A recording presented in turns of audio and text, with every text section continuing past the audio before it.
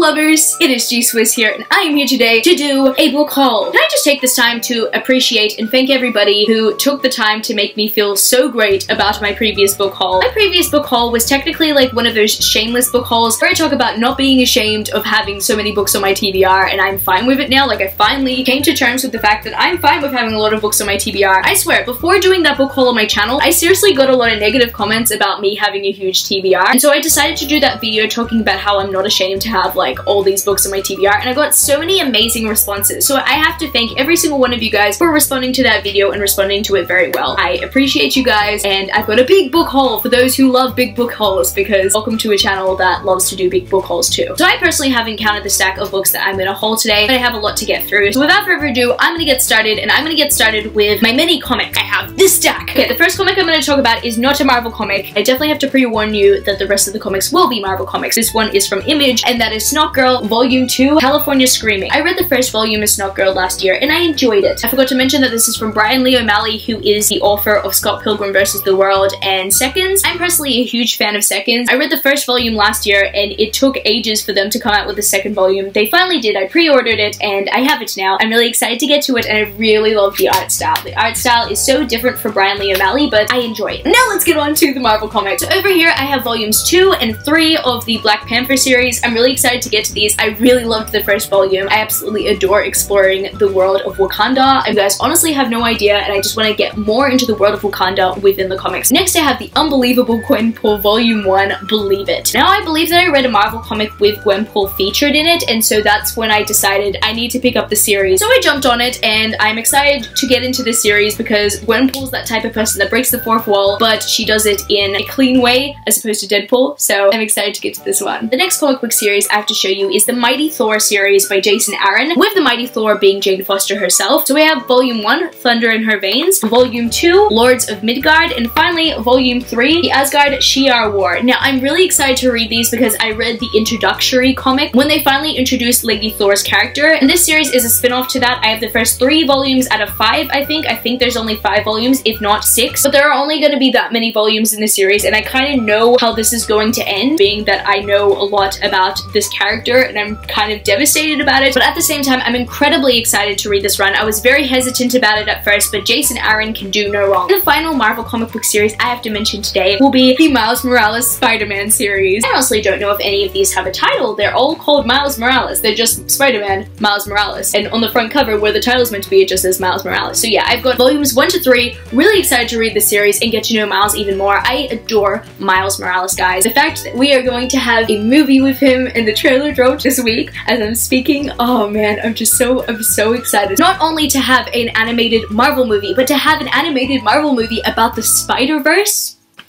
I'm in. And now it's about time that we get onto the books. So I'm gonna start off with the books that I got sent from publishers. And out of all the books that I got sent from publishers, only one of them was for review. Lol. So first of all, I will show you a book that was sent to me unsolicited from Penguin Random House Australia. And that one is The Strange Fascinations of Noah Hypnotik by David Arnold. I had read Mosquitoland by David Arnold and I loved that one. So I'm really excited to get to this one and I really liked the synopsis for it as well. I still have the press release in it. Oh man, I'm so good at this. And all the next books that were sent to me by publishers were sent to me by one publisher and that was Bloomsbury Australia. So thank you so much Bloomsbury Australia for being so generous to me within these past couple of months. The first one I have to mention is an arc of All of This Is True by Lygia Day Penaflor. And I really like this arc because you can do this. You can or you can't trust me, something like that. And on this side, I don't know if you can see it, it says tell me everything. I honestly really like the design of this arc, but guess what? I didn't read it before it came out and I should have read it before it came out. Everyone is talking about it, really excited to actually get to this one. Apparently it has a very cool premise to do with like YA fiction and writing YA fiction. I'm sold. I'm in. I'm excited to read this. Now, when I said that Bloomsbury were being generous to me this month, I wasn't lying. They sent me the repackaged editions of A.C. Gaughen's Scarlet trilogy, I think. So the first book being Scarlet, the second book being Lady Thief, the third book being Lionheart. I'm really excited to get to these. I haven't even read Reign the Earth yet, and I need to get to that one as well. I got sent that one in a YA Chronicle subscription box, and I'm absolutely fascinated in how beautiful these covers are. I'm so happy to add this trilogy onto my shelf. Really excited to read them. Thank you so much, Bloomsbury. And the final thing that I definitely definitely have to thank Bloomsbury for today will be the UK paperback of A Court of Frost and Starlight by Sarah J Maas. This one is so pretty. My goodness. This was the one book I got sent for review out of the stack. And guess what? I did a ramble about it on my channel. Not a rant, not a review, just a ramble, like a, a literal ramble. I was just saying random things about this book that is spoiler free, so if you want to go check that out and want to hear my thoughts and opinions on it, and also watch our Biblio Squad live show where you can hear my spoiler thoughts on it, then both of them are linked down below. Once again, thank you Bloomsbury for sending this my way, and being that I'm also Sarah J Maas trash, I also had to get the hardback to add to my collection. And I purchased this hardback through the YA Chronicle subscription service. They always do sequel boxes, so if you want to go check them out, check them out. They're really awesome. Next book I will be hauling today will be the one poetry slash poetic book that I purchased recently, and that was Heart Talk by Cleo Wade. There was so much hype from the publishers on this book, and so I just decided to pick it up. And I found it for so cheap one day, and so I decided to pick it up and give it a shot because I just need more modern poetry because it gets me by. It gets me by. This next book is a classic, and one of my friends who is in the YouTube community, his name is Carlos. I'll link his channel below so you can check him out. This book is his favorite book and I finally bought it, finally made it a priority to purchase this book. And that, my friends, is The Little Prince. Yes, I have The Little Prince in this very gorgeous edition. I mean, it shouldn't be hard for me to read. It's only 100 pages. I personally definitely want to know why it is Carlos's favorite book, so I absolutely, most definitely want to give it a shot. So Carlos, I have the book now. You happy? And the next book I bought recently is Circe by Madeline Miller, who is the author of The Son of Achilles. I, no, The Song of Achilles. Man, I'm really bad at this. I was so inclined to buy this, most mostly because of its cover. Because this, this cover is not only glorious, apparently this is only limited to UK first editions, but Under the Dust Jacket has this design. Look at how beautiful that is. Gorgeous. I had to jump on it. As soon as they announced that, I had to jump on it. And also, apparently, it has to do with Greek mythology. Not too sure. Hopefully, it does. I, I, I feel like it does. And it has to do with a Greek mythology figure named Circe. I don't know too much about it, but I've been hearing a lot of my friends rave about this book, so I just need to jump on it and I need to read it. I mean, it has a beautiful cover and it has a very interesting synopsis. What's not to love? And the next book I have to hold today, I received for free at TeenCon, and that is Ash Princess by Laura Sebastian. I know nothing about this except for the fact that this cover kind of looks like it's glass sword, but with completely different details on the crown. That's the first thing that I thought when I saw this cover. So yeah, I think of glass sword, but an ashy crown instead. So I guess I've heard a lot of hype about this book and I got given it for free, so that's cool. And the next book I bought this month was Avengers Infinity War The Cosmic Quest Volume 1 The Beginning by Brandon Snider. I have read this book and I enjoyed it. It wasn't the greatest thing ever, but it's a book about Avengers Infinity War, so like I was up for it. I love how this cover and I are matching today, except I have the stones and it doesn't. I mean, I could be merciful and snap my fingers right now, as Thanos would say, but you know what? I'm, I'm probably not going to do that. You know why? Because I want more people showing up to my birthday. I swear all the Infinity War memes have consumed me. Another Marvel related book that I have in this stack would be Black Panther The Young Prince by Ronald L. Smith. When I heard that this was going to be a thing, I immediately had to buy it. I mean, I didn't buy it straight away, but like I knew it was going to be a thing ages ago, but then I think once I was reminded that it was a thing, and I never saw it in Australian bookstores, so I actually had to buy it from the book depository because I never saw it in Australian bookstores, and I was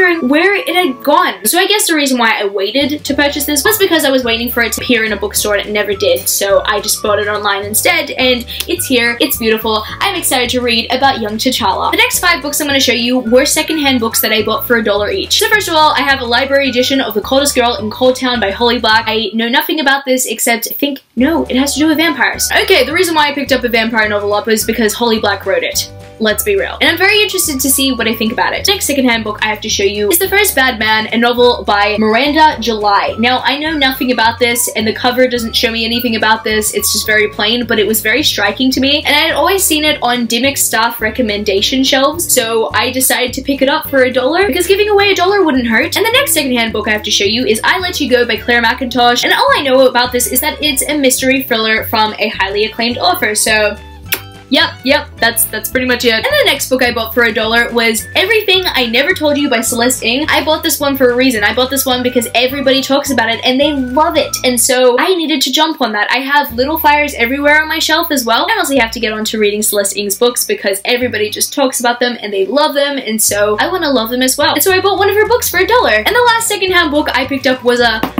hardback, and that was Grave Mercy by Robin LaFevers. I'm just absolutely beyond amazed at the fact that I was able to purchase this for a dollar. That's awesome. Apparently this book has to do with an assassin school for nuns. Sign me off. The next three books I have to show you were for 40% off from my workplace, and so I decided I'm gonna take the risk. I'm gonna risk it for the biscuit. And that is a shrink-wrapped three-pack of the first three books in the Elite Guardian series by Lynette Eason. The first one being Always Watching, the second one being Without Moving, and the third one being Moving Target. I think that there's one more book in the series. I have the first three, and I got them for super cheap. I decided to jump on that because it was a bargain. My TBR is being bombarded with bargains. And being that my workplace was having a big sale, I needed to jump on these as well. So the first three out of the four hardbacks that I just showed you are the Unblemished trilogy by Sara Ella. The first being Unblemished, the second one being Unraveling, and the third one being Unbreakable. The reason why I picked these up is not really just because of the covers, because the covers are pretty. I'm not really the biggest fan of this one. The series just got even more beautiful with the next couple of covers. The reason why I purchased these is because Sara Ella is apparently a booktuber, and I've seen a couple of people talk about this trilogy on their booktube channels and mention that Sara Ella is a booktuber, and so I decided to support my local booktubers and my local booktubers lol. What I was meant to say is support the booktube community, so I decided to pick her trilogy up and give it a shot, especially because I got them for cheap. And the final book I purchased during that sale was Reclaiming Shiloh Snow by Mary Weber. This is the second book in her new duology. I read the Storm Siren trilogy ages ago. I really wanted to give this one a shot because it has to do with like a virtual game reality world and I was just like, you know what? Sign me up. I'm always like, sign me up. But you know what? I was like, sign me up even more with this one. So of course I have to go ahead and purchase another trilogy.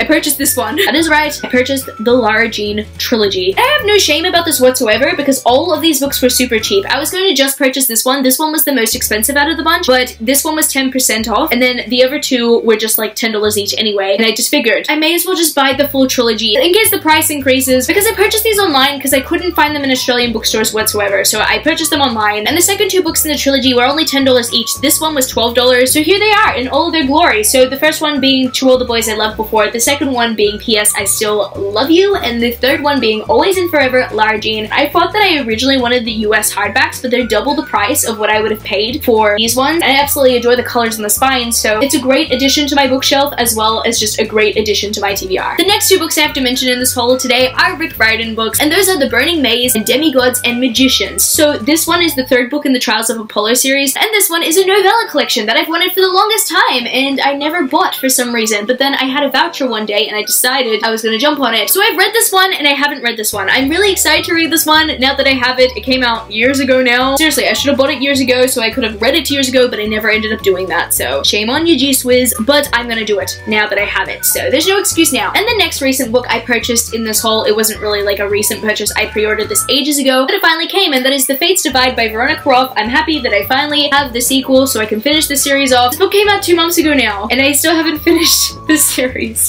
wow, G Swizz. Next two books I have to mention in the stack today are by the same author, and that is by Victoria Aveyard. I got the UK special edition of Red Queen, and I finally have Warstorm, which I haven't read either. I'm really bad with these sequels. I think it's because they're just so chunky, and I just need to dedicate my time to them and also dedicate my emotion to them. I need to make sure that I'm in a good emotional place before going into these books. Fortunately, Victoria Aveyard was not in Sydney when Glass Sword came out, so I literally received this book weeks after her coming here. But being that she was here weeks ago, I have every ever book signed by her, including this one, Sister Grace. Yes, that's right, guys. I got to meet her, and as she was signing my books, we talked about Infinity War. Because the day I got to meet her was the day after Infinity War dropped, and she watched it on the Australian release day as well, so she got to see it early as well. It was the coolest thing. We were just gushing about it. We were trying not to spoil it for everybody else, like, in the queue. It was the funniest thing. We had a great conversation. It was good. Yay, I've only got a few books left. So the next book I have to hold today is Carry On by Rainbow Rowell in the paperback edition. I mean, like, I had a paperback edition, but the US paperback edition. This is gorgeous, guys. Look at that. It is, it is beautiful. It's literally fan art of Simon and Baz. I haven't read this book yet, and I need to read this book, but I really wanted this cover, not only just because its cover is beautiful, but because I wanted a proper map of Watford. I literally finally have a proper map of Watford, and I'm so happy. And it also says here, you were the sun and I was crashing into you. Absolutely everything about this paperback is stunning, and I heard that there's going to be a second book in the series, which is crazy, but that means that I have to wait for the paperback to come out in this edition as well.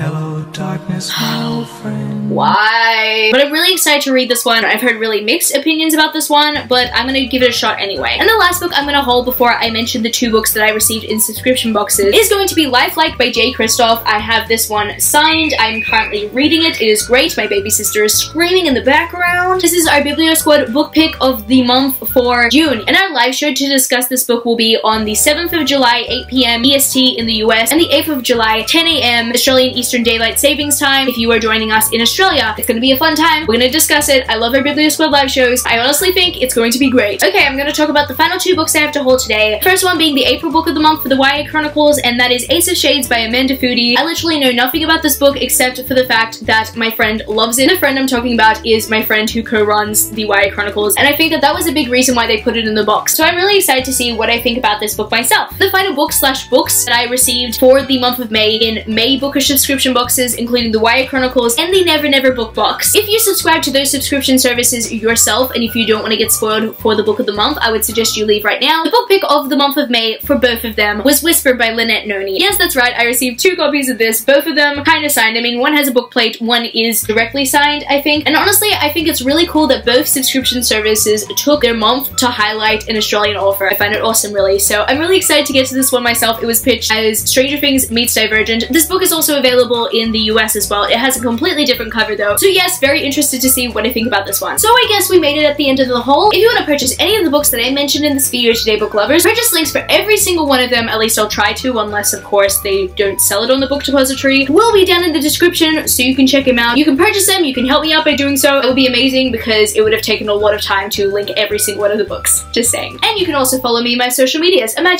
Books on Twitter and Instagram, and I'm also Goodreads. That's www.goodreads.com slash gswizzel. I love you book lovers, and I will see you later. Peace!